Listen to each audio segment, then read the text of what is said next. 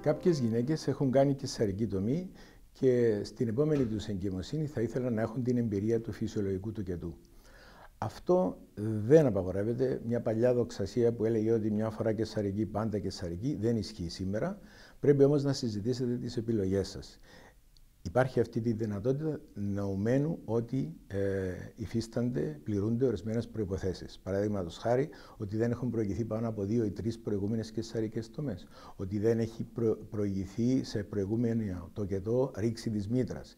Η προηγούμενη κεσαρική έγινε με την κλασική μέθοδο με τομή στο πάνω μέρος της μήτρας. Ή βέβαια στο τέλος και αν υπάρχουν και σε αυτή την εγκυμοσύνη επιπλοκές ή ενδείξεις που α, μας οδηγούν προς κεσαρική τομή και πάλι. Ε, εάν έχει αποφασιστεί να γίνει φυσιολογικός τοκετός μετά από κεσαρική τομή, απαιτείται συνεχής παρακολούθηση της γυναίκας με monitor, ούτως ώστε να είμαστε έτοιμοι να αντιμετωπίσουμε οποιαδήποτε επιπλοκή εμφανιστεί.